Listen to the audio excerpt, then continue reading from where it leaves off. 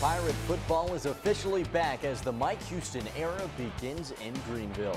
Welcome back to 9 on your side, everyone. I'm Nolan Knight, and we start tonight with none other than some East Carolina football. The Pirates enter 2019 with a clean slate last year in the rearview mirror and all focus on the new season under a new head coach. Let's head out to Carter Finley Stadium. The Pirates taking on the Wolfpack.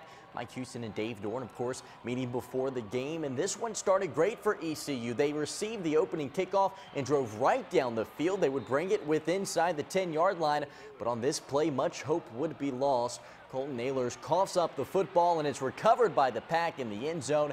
NC State would then drive it 80 yards down the field and cap off their drive with a Zonovan Knight touchdown run to take a 7-0 lead. The Pirates would respond with this kick from Jake Verity to stay in the game 7-3, but State would take a 17-3 lead into halftime. In the second, it was all Wolfpack. Matthew McKay to Tabari Hines, who waltzes into the end zone for a 48-yard strike. And then McKay shows off why he was named the starter quarterback. Check out this play, 21 yards from the quarterback to give State a 31-3 lead. ECU, they had their moments in this one, but they fall on the road to the Wolfpack by a final of 34-6. Here's Sports Director Brian Bailey with more from Raleigh. It's another long day for East Carolina in Raleigh. North Carolina State 34, East Carolina 6. The complexion of the game changed early. With their first possession, the Pirates drove 75 yards in 12 plays, but they fumbled at the goal line. And that's as close as East Carolina would come to the end zone all day.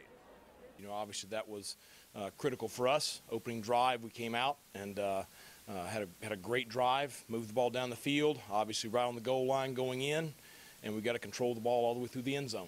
You know, you don't they don't give you any ribbons for you know coming close.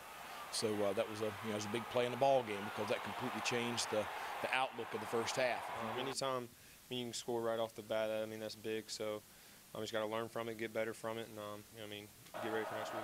Glad we got that takeaway down on the goal line. That was awesome that our defense did that, and, and um, offense responded driving down the field on that one. Another difference in the game, the Pirates failed to run the football. East Carolina didn't crack the 40-yard mark, while North Carolina State racked up almost 200 yards on the ground. Next up for East Carolina, of course, Gardner Webb in the home opener next week. From Carter Finley Stadium, I'm Brian Bailey. Not on your side, sports.